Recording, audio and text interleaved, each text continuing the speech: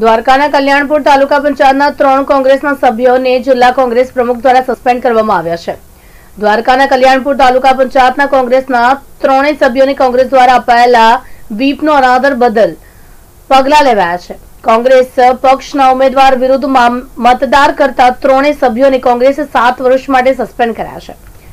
કોંગ્રેસે પક્ષતાન ધારાની જોગવાઈ મુજબ ત્રણેય સભ્યોનું તાલુકા પંચાયતનું સભ્ય પદ રદ કરવા કાર્યવાહી શરૂ કરી છે.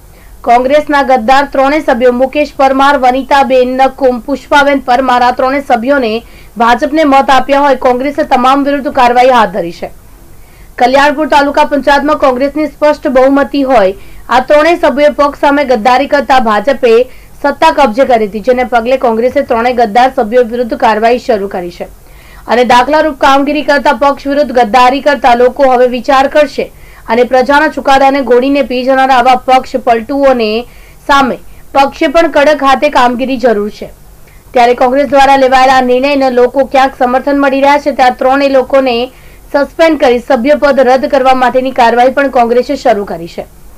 જેમાં જિલ્લા પ્રમુખ યાસીન ગજ્જર દ્વારા બળવા કરેલ તમામ ત્રણ સભ્યોને સસ્પેન્ડ કરી તેમનું તાલુકા પંચાયતનું સભ્યપદ રદ કરવાની કાર્યવાહી પણ કોંગ્રેસે શરૂ કરી છે.